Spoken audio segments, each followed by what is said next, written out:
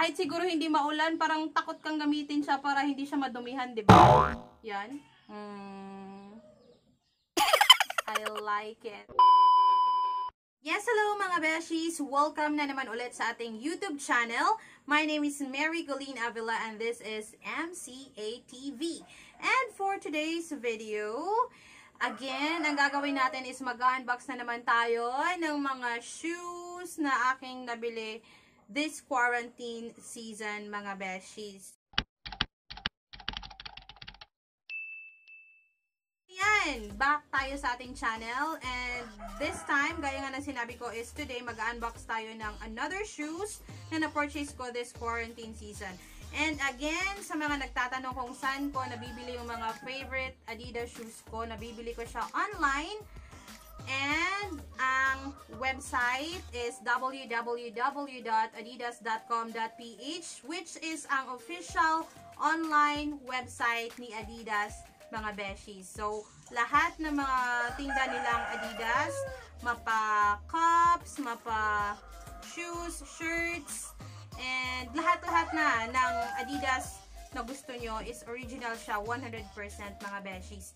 So, now, ang bubuksan naman natin today is ang bago or isa sa pinaka-latest ko na na-purchase this quarantine season, ang ating bagong shoes na Adidas Sense Boost, mga besh.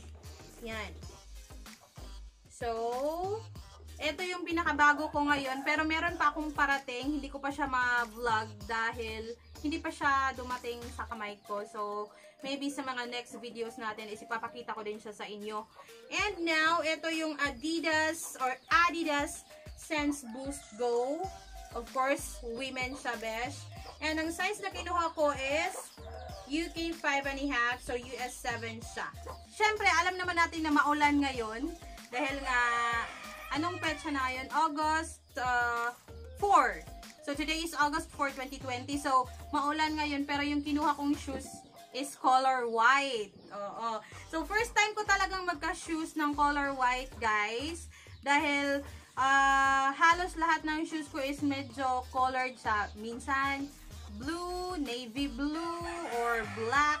Meron din akong pink. And meron akong light gray. So now, kumuha ko ng uh, color white na Adidas shoes. Bakit? Dahil napag-isip-isip ko, never pa akong nagkaroon ng white shoes. And di ba alam naman natin ngayon na trend yung color white na shoes sa mga sa mga bagets or kahit na sa mga hindi bagets, trend sa. Da, at saka naisip ko, kahit naman siguro hindi bagay sa akin yung white kasi nga in person talagang maitim ako, maitim ako. Baka sa lights lang medyo pumuti ako ng konti dito sa video. Pero maitim kasi ako guys, tapos yung pa ako medyo maitim talaga siya. Kaya pag nagsuot ako ng white, parang ang awkward. Pero gusto ko talaga siyang bilhin dahil maliban sa nakasale siya, wala talaga akong white na shoes at maganda siyang ipare sa sa kung ano nung kulay ng uh, damit mo, ba? So, yan, nag-purchase ako ng color white. Pero, later, ipapakita ko sa inyo. Hindi later, ngayon na talaga. So, bubuksan na natin siya. Ito siya. Ito yung kanyang box ni Sense Boost. Akala ko talaga, mga beshi, yung carton niya is parang ganito sa Solar Boost na shoes ko. Kasi nga boost, ba diba? Pero, iba yung carton niya. Ewan ko kung bakit. Pero alam ko, original talaga to 100%. Siguro ganito lang talaga yung carton na nilagyan nila. So, yan yung kanyang box. Ewan ko sa ibang Sense Boost, kung ganito ba yung box nyo, comment nyo sa baba. So, yan. Buksan na natin siya. So, yan. And, okay lang ba kung makakap ako? So, eto yung box. And, yung kanyang sakit na papel. So, yan siya sa loob. Tingnan nyo. So, ito yung ating Adidas Sense Boost Go na color white. Yan. Ganda, di ba?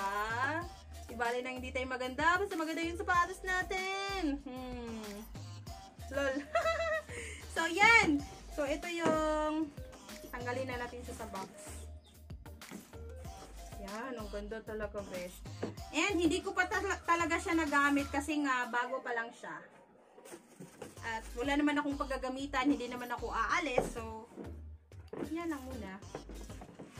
So guys, mga besh, ito yung ating Adidas Sense Boost Go na super ganda. Yan. So, ipapakita ko siya sa inyo ng malapitan.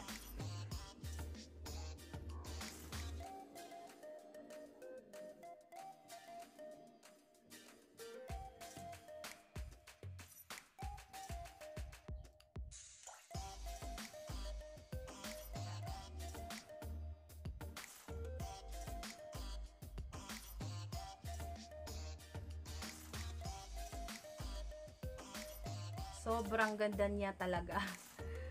And magkaiba sila ng tang mga beshi. Later on, papakita ko sa inyo yung isa. So, bali yan. Tandaan nyo, Adidas logo yan, di ba? Yung isa, ibang-iba yung kanyang tang. Okay. Oh, ito yung isa.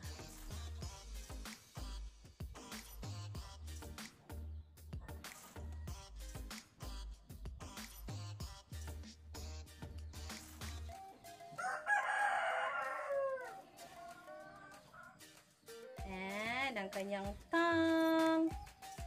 Yan. So, ang tang niya is QR code.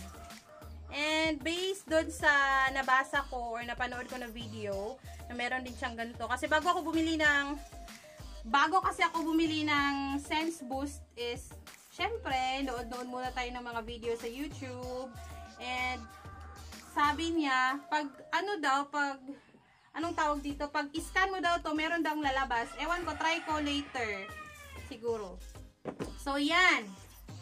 So, as you can see, mga beshi, as in, super puti niya talaga. Yan. Gusto niyo bang gamitin to ng maulan? Siyempre, hindi. Kahit, kahit siguro hindi maulan, parang takot kang gamitin siya para hindi siya madumihan, ba diba? Yan. Hmm. I like it. It's my first time talaga na magkaroon ng puting sapatos. So, ang ganya, ang ganya, ang gandang-ganda niya talaga. As in, walang halong kaokehan. Ang ganda niya talaga. So, bali yung kanyang uh, outsole, ganito yung itsura. Meron ding ibang Sense Boost, guys, na hindi ganito yung kanyang outsole. Yung medyo pure white lang siya. Pero ito, iba siya. Yan. Parang medyo sa, ting sa tingin nyo sa camera, sa pagtingin nyo sa camera, parang parang gamit na siya pero hindi ganyan talaga yung kulay niya. Hindi ko hindi ko pa talaga 'to nagamit, 'yan. Mm, mm, mm, so, ang nakalagay dito, ano ba 'to? Yung nakalagay dito, parang mga number siya, ewan ko. Kita ko sa inyo. Yan, meron siya mga numero. Ewan ko kung anong ibig sabihin niya. Tapos QR code. Yan, oh. No. Ano ba yan? Ewan ko. Tapos yung isa, na nakalagay, meron din siyang mga words na nakalagay. Hindi ko siya masyadong mabasa, guys, dahil nga, is meron siyang um, listed shoelace. Ang maganda kasi, guys, pag white shoes, pwede mo siyang um, pang lifestyle, pwede din siyang pang formal, ba? And of course, syempre, kung gagamitin mo siya pang workout, parang nakakaawa siyang gamitin pang workout. Okay lang siguro pag nasa gym, no? Kasi hindi masyadong madumi. Pero pag, pag tumatakbo ka sa labas, siguro wag na lang. Kasi, syempre, puting sapatos, ang hirap talaga niyang linisin. So, iwas-iwas na lang siguro. Lalong-lalo pag bago, no? Wag na muna siyang gamitin sa labas na medyo marumi yung environment. Charot lang. So, now, if a-flash ko sa screen yung mga available colors ni Adidas Sense Boost. So, yan yung mga available na colors ni Adidas Sense Boost, guys. Nga pala, mga beshies, ipapakita ko sa inyo yung kanyang kaibang lacing system. Iba kasi, tingnan nyo. Kung mapapansin nyo, wait lang, lalapit ako.